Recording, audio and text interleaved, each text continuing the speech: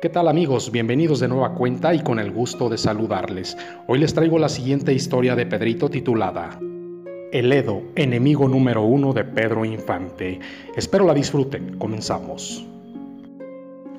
Bien, vamos a comenzar la siguiente historia tomando una entrevista realizada al compañero y actor del máximo ídolo de México en la cinta de Nosotros los Pobres. Se trata de Jorge Arriaga. Pedro Infante y Jorge Arriaga en la vida real llevaron una muy bonita amistad. En los estudios de grabación se les veía muy contentos cuando les tocaba coincidir en las filmaciones de las escenas. El actor Jorge Arriaga comenzó recordando a Pedrito. Pedro era un muchacho a todo dar, no había días que llegara de malas al set de filmaciones. Y él me decía, mira Jorgito, Hoy vamos a hablar como lo pide la película.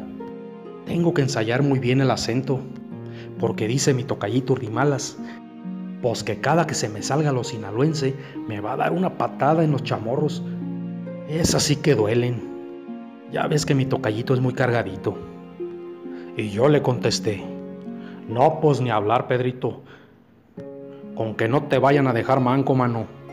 Y Pedrito soltaba tremenda carcajada. Era muy alegre y excelente compañero de trabajo.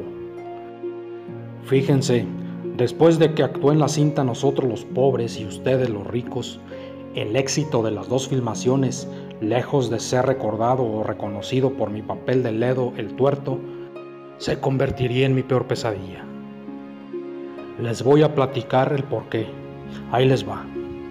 En una ocasión tuve que ir a Puebla y de repente alguien del lugar me reconoció y primero me retó y con una serie de maldiciones comenzó a aventarme, empujarme y tomó una piedra. Yo corrí fuerte y me la aventó, pero gracias a Dios no me pegó. Pero lo más impresionante es que en pocos segundos se multiplicó el número de personas y entonces sí, eran más y más piedras las que me llovían y gritaban que era para vengar a Pepe el Toro porque le había hecho mucho y lo que le había pasado al torito. En eso tuve que correr con más fuerza, pero no fue por mucho tiempo. La gente me quería linchar, esto ya era más peligroso. Yo les gritaba que solo era una película, que era de a mentiras, que Pedro y yo éramos excelentes amigos, que no lo tomaran así. Los hombres continuaban aventándome fuertemente y las mujeres me jalaban de las greñas. En eso estaban cuando para mi fortuna llegó la policía y me sacaron del lugar. Esta historia jamás se me olvidaría. ¿Qué impacto causó dichas filmaciones para en aquellos años?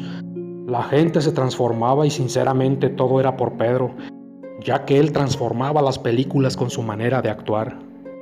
Cuando pasó el tiempo volví a encontrarme con Pedro y me gritó, Épale, Jorgito, pues ¿por qué tan mulo? Qué bueno que te veo, Perico, te voy a platicar una cosa. Y cuando terminé de contarle, sí se preocupó mucho. Pero al final de cuentas todo terminó en risa.